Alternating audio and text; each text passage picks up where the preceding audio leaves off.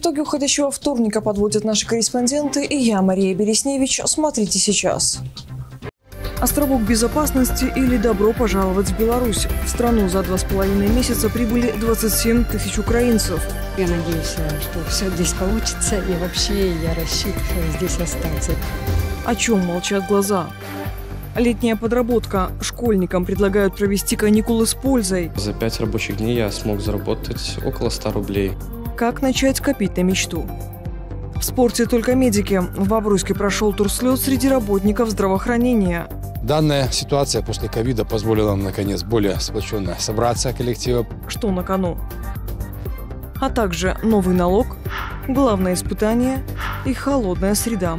В Беларуси обещают ночные заморозки, когда наступит купальный сезон.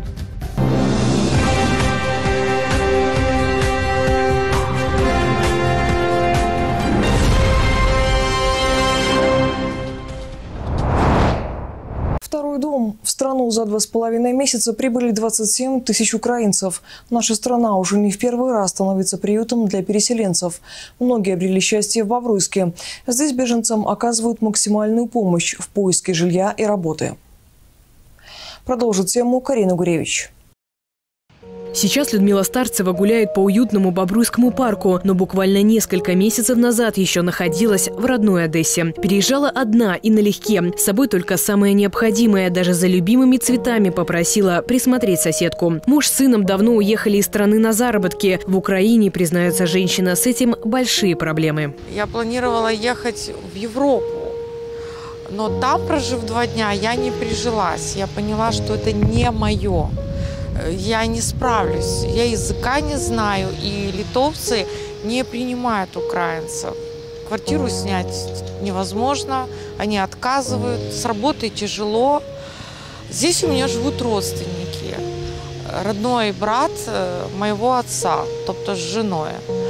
И вот я приехала к ним, они меня пригласили, я приехала к ним. Людмилу встретили с распростертыми объятиями прямо на въезде в страну. Пограничники удивляли своим профессионализмом и приветливостью. Уже в Бобруйске женщина сняла квартиру и устроилась на работу в троллейбусный парк. На каждом этапе ей подсказывали и направляли, а это дорогого стоит. Украинка рада, что наконец может чувствовать себя в безопасности. Прошла медкомиссию, тоже в каждом кабинете.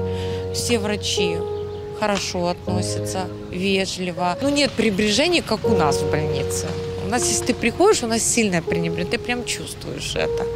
Здесь я пришла, вот, ну, мне приятно даже, по, хотя по больницам ходить неприятно. Мне было приятно, честно сказать. Я шла налегке, была в настроении.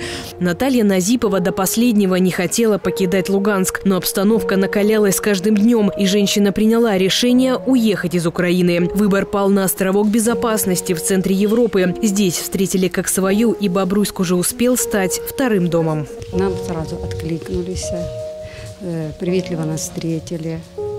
Э, значит, э, продуктовый набор нам дали, много вещей, э, очень много можно выбрать. Я надеюсь, что все здесь получится, и вообще я рассчитываю здесь остаться, если честно сказать.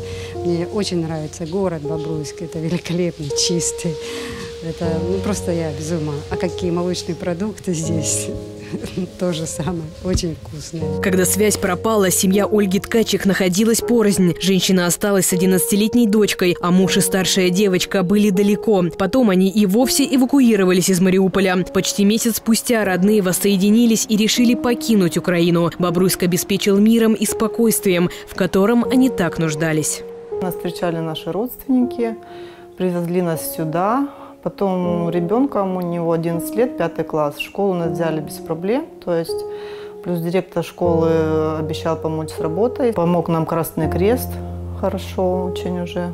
Предоставил э, продукты и вещи кое-какие. Беларусь открывает свои двери для тех, кто в этом нуждается. С конца февраля в республику прибыли уже 27 тысяч украинцев. Поддержка – меньшее, на что могут рассчитывать мигранты в нашей стране. Когда кому-то нужно протянуть руку помощи, здесь не имеет значения, свой ты или чужой. Ну а для беженцев минуты отчаяния единственным приоритетом становится мирное небо над головой. Карина Гуревич, Максим Галеонка, Бобруйск, 360.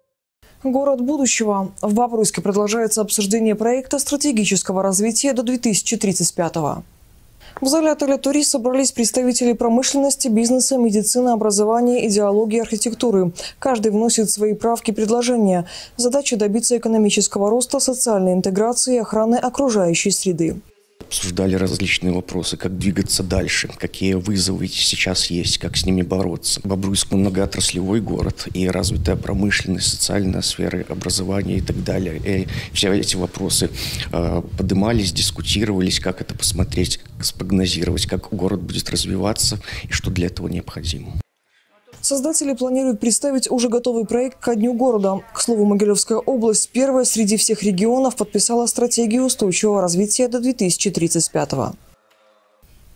Продленный срок, морозный май и белорусский бренд. В стране увеличится выпуск импортозамещающей продукции. Кто в приоритете? Громкие заголовки дня далее в специальном обзоре. С 2023 в республике ведут налог на профессиональный доход. Он заменит подоходный, плюс в него включат отчисления на пенсию. Нововведение существенно облегчит процедуру налогообложения. Кроме того, 60% от суммы пойдут в бюджет Фонда социальной защиты. В этом году Беларусь выпустит импортозамещающей продукции на 25 миллиардов долларов. Приоритете машиностроения, деревообработка, нефтехимия, приборостроение. Финансировать разработки будут совместно с российской стороной. В банках на эти цели появятся льготные кредиты. Регистрация на ЦТ продлится до 1 июня. Абитуриентам разрешается сдать 4 из 11 предметов. Напомним, в этом году изменятся условия главного вступительного испытания вуза. В первую очередь увеличится время для прохождения математики и физики. Тайминг составит 210 минут. Для предпринимателей, которые торгуют продуктами на рынках и ярмарках, до 2023-го продлили срок работы без кассы. Напомним, в январе расширили список тех, кому необходимо платежное оборудование. Среди них магазины с площадью больше 200 квадратов.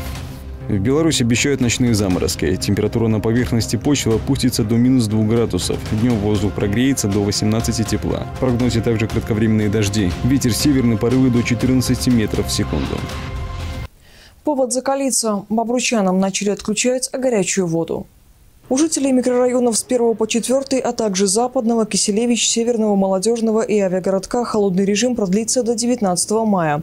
На Батово, Сикорского, Энергетиков, Шины, проспекте Строителей, бульваре Приберезинском и прилегающим к ним улицам горячей воды не будет до 22 числа. С подробным графиком можно ознакомиться на сайте Бобруйского горисполкома. Работы будут продолжаться все лето.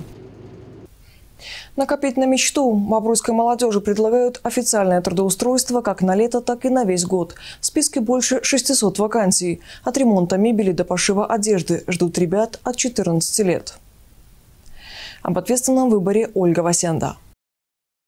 Владимир Голуб в свои 15 хорошо знает цену деньгам, и еще с прошлого лета на карманные расходы он зарабатывает самостоятельно. Эти каникулы парень тоже проведет с пользой. Сборка, разборка, ремонт школьной мебели – все это под пристальным вниманием учителя. Я познакомился с очень интересными ребятами, набрался очень много опыта по сборке, разборке мебели. За пять рабочих дней я смог заработать около 100 рублей. 16-летняя Валерия Антонович учится в технологическом колледже. Подработка швеей для нее еще и отличный способ набраться опыта для будущей профессии. Девушка делает раскройку ткани, обрабатывает внешние швы, прошивает строчки рубашек. За одно изделие обещают 25 рублей. Я сейчас работаю на вторичной занятости. Э, я решила поработать, потому что у меня было свободное время. Мы работаем каждый день, кроме субботы и воскресенья. Суббота и воскресенье у нас выходные. Как бы мы приходим после пар, ну это приблизительно с 4 до 6 мы работаем. Мы за 2 часа мы можем с легкостью сшить полностью рубашку. Официально трудоустроиться в нашей стране подросток может уже с 14. Приоритетное право у ребят из неполных, многодетных, малообеспеченных семей, а также у тех, кто состоит на учете в комиссии по делам несовершеннолетних. Чтобы получить направление на работу, нужно зарегистрироваться в органах по труду. С собой достаточно взять паспорт и справку об обучении. Процесс займет 15 минут.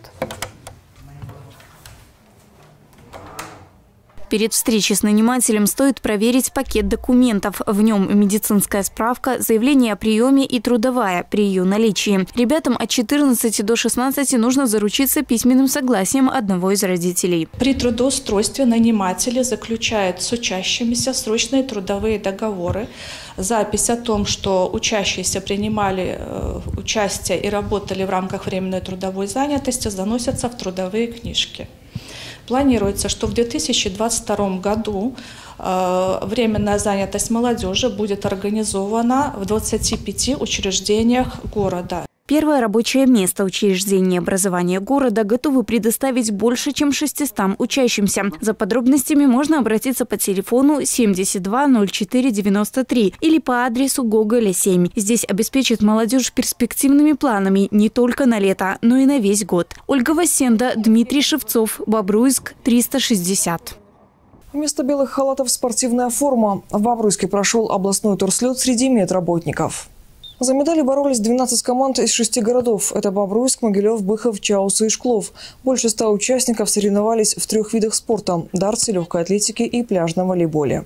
Данная ситуация после ковида позволила нам, наконец, более сплоченно собраться коллектива, получить заряд энергии, бодрости, хорошего настроения, ну и принести это все в коллективы, которые вернутся люди с хорошим настроением, надеюсь, после этих выходных дней. Такие спортивные встречи среди работников здравоохранения – хорошая традиция. В этом году санаторий имени Ленина стал площадкой для турнира.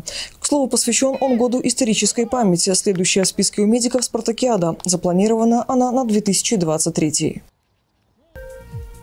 Это все из событий к этой минуте. Смотрите нас в интернете и соцсетях. Мы в эфире каждый будний вечер. Счастливо!